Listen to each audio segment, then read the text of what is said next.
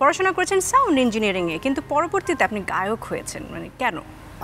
আসলে আমার সাউন্ড ইঞ্জিনিয়ারিংয়ে পড়তে যাওয়ার বিষয়টা আসলে একটা ডিফারেন্ট রিজনে আসে। আমি ছোটোবেলার থেকে আমার জন্ম আমার জন্মই কিন্তু হয় একটা মিউজিক্যাল ফ্যামিলিতে ইউনো। দ্যাট আমার বাবা ফেরদোস ওয়াহিদ তো ছোটোবেলার থেকে আমি অ্যাকচুয়ালি সঙ্গীতের সাথেই বেশি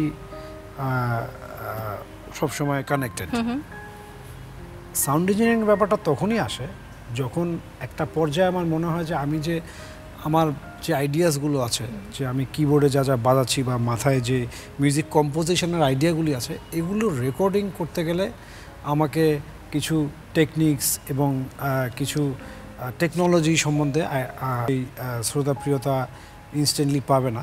বাট আগের তুলনায় এখন একটা গানের সাথে অনেক কিছু একসাথে কম্বাইন করতে হয়।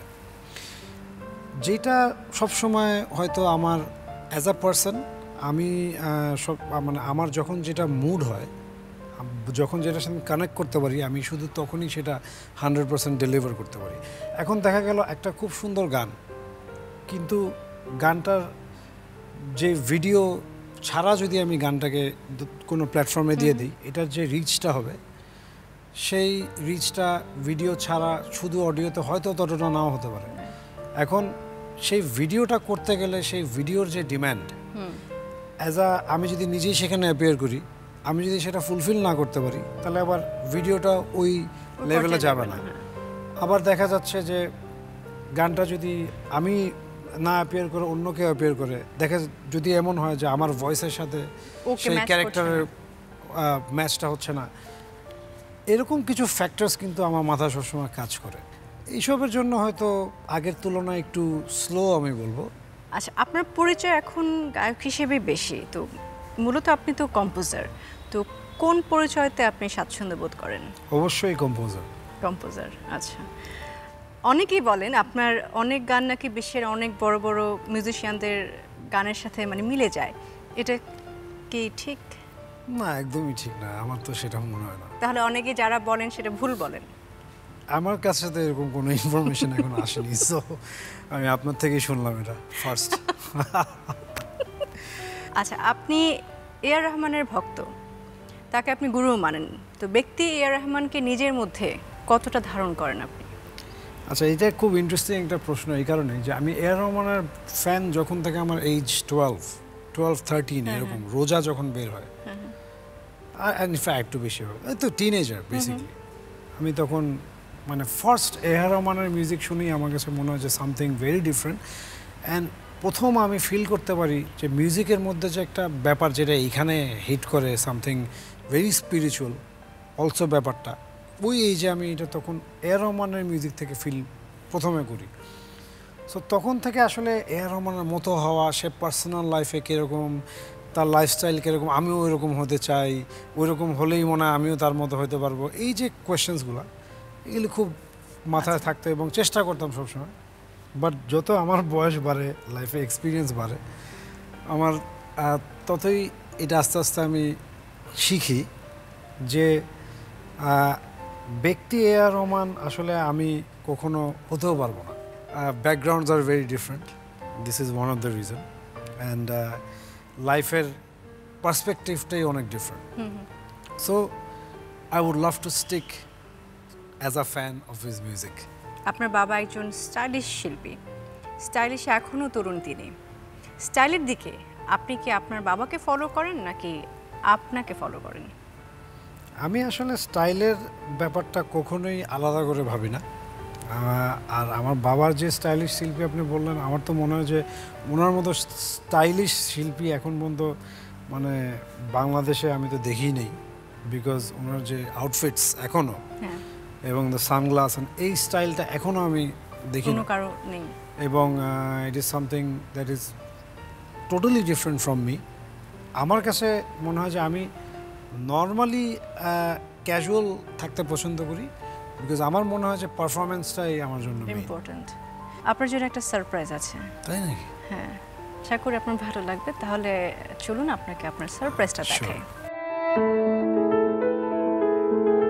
প্রত্যেকের ছেলেবেলায়, ছেলে হোক, মেয়ে হোক, যার যার জায়গা থেকে যে দুরন্তপনাটা থাকে, হাবিবের কিন্তু অতটা ছিল না।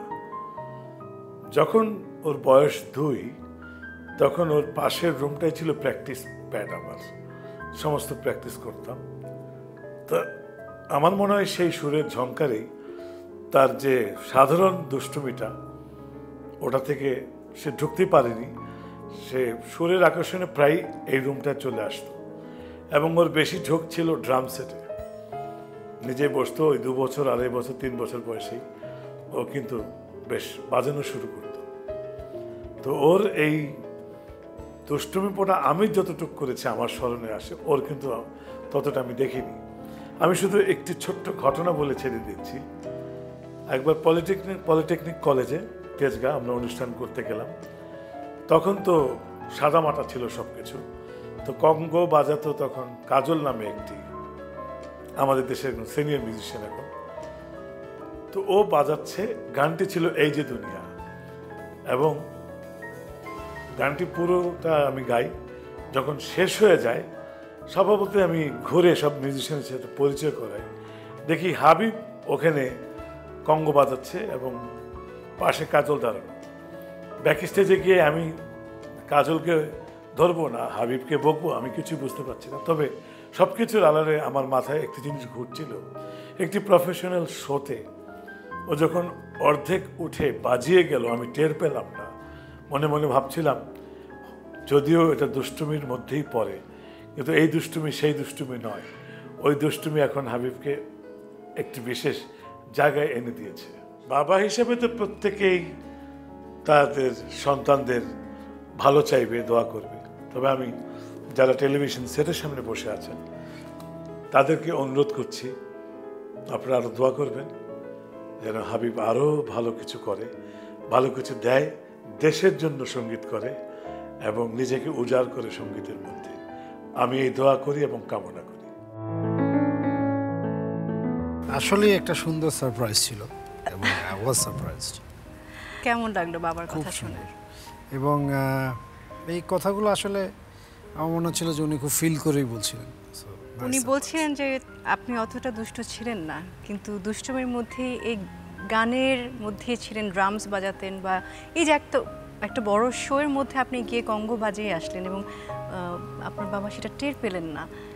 সেই অনুভূতিটা কিছু মনে আছে বা বলতে আমার অবশ্যই এটা এই এক্সপিরিয়েন্সটা মনে আছে বাট এক্স্যাক্টলি ইন ডিটেল মনে নেই বাট যতদূর মনে আছে যে আমার ভার্সন থেকে যে আমার আব্বা তো বলল যে বেশি দুশ্রমী ছিল না কিন্তু আমার যতটুকু মনে আছে যে ওই লোকটা ওই যে যে কাজল আঙ্কেল হ্যাঁ, হ্যাঁ। যে বাজার বাজাচ্ছিলেন আমার যতটুক মনে আছে ওনার এক্সপ্রেশনটা আমি একরকম ওনার শার্ট টার্ট অলমোস্ট টেনে ছিঁড়ে ওনাকে সরানোর চেষ্টা আচ্ছা। করতেছিলাম।